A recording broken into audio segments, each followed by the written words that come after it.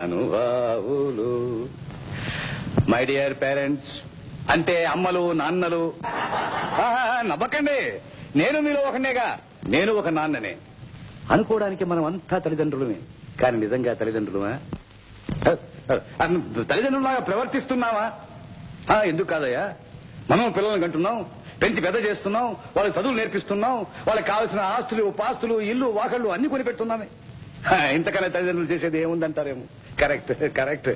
కానీ నేను ఒక చిన్న ప్రశ్న వేస్తాను. వన్ స్మాల్ క్వశ్చన్ మనలో ఎంతమంది రోజు కాకపోయినా వారానికి ఒక్కసారి మన పిల్లలతో ఒక్క గంట సేపు కాలక్షేపం చేస్తున్నాం ఎంతమంది వాళ్ళు ఏం చేస్తున్నారు ఏం చదువుతున్నారు ఎలా తయారవుతున్నారని చూసుకోగలుగుతున్నాం?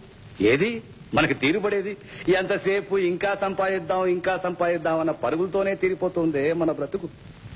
ఈ రోజు మన కుర్రవాళ్ళని చూస్తుంటే వాళ్ళ వెనకాల రూపాయలు కనిపిస్తున్నాయే గాని వాళ్ళు వ్యక్తులుగా గాని వ్యక్తిత్వం కల వాళ్ళుగా గాని కనిపించడం లేదు.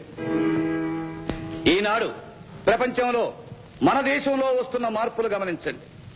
సంపదలు సంపాదనలు ఎంతకాలం ఉంటాయో కాస్త ఆలోచించండి. ఎప్పుడు ఏ గాలి కొట్టుకుపోతాయో ఎవరు చెప్పలేరు. అంతా అగమ్యగోచరం వెరీ సారీ.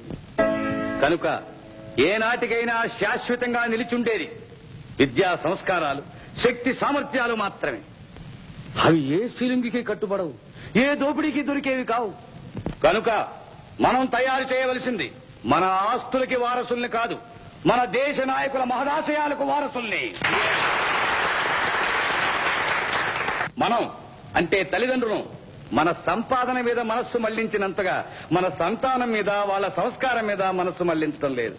అందుచేత ఈ రోజు కుర్రకారు బాధ్యతలు మరచి విందులు వినోదాలు పార్టీలు ఆహో.